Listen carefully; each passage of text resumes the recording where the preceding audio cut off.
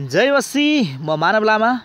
आज फेरि पनि यहाँहरूको माझमा नेपाली ख्रिस्टीय भजन किताबमा रहेको भजन नम्बर आठ सय बत्तिस एट हन्ड्रेड थर्टी टू नम्बरको अति नै मिठो भजन वचन त्यो प्रेम पत्र हो प्रेमी हाम्रो परमेश्वरको भन्ने प्रस्तुत गर्न चाहन्छु।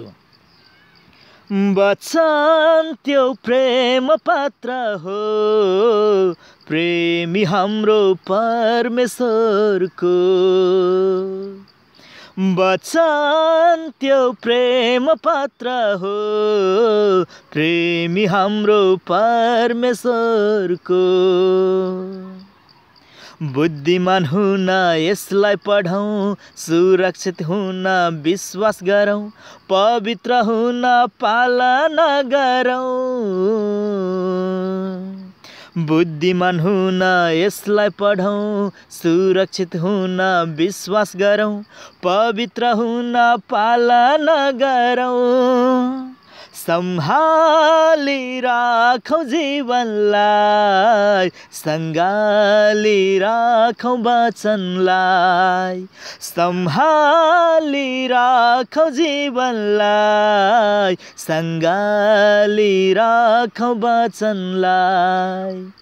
वचन त्यो प्रेम पत्र हो प्रेमी हाम्रो परमेश्वरको।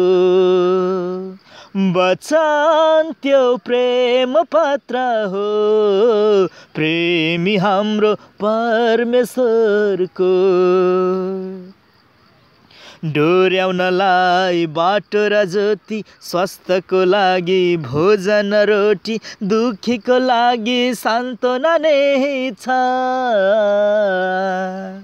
डोर्याउनलाई बाटो र ज्योति स्वास्थ्यको लागि भोजन रोटी दुखीको लागि सान्त्वना नै छ।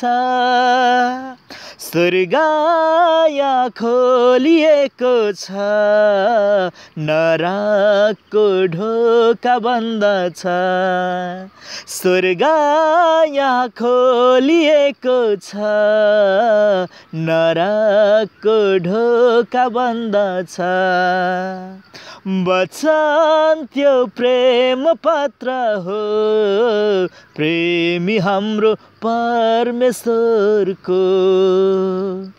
वचन त्यो प्रेम पत्र हो।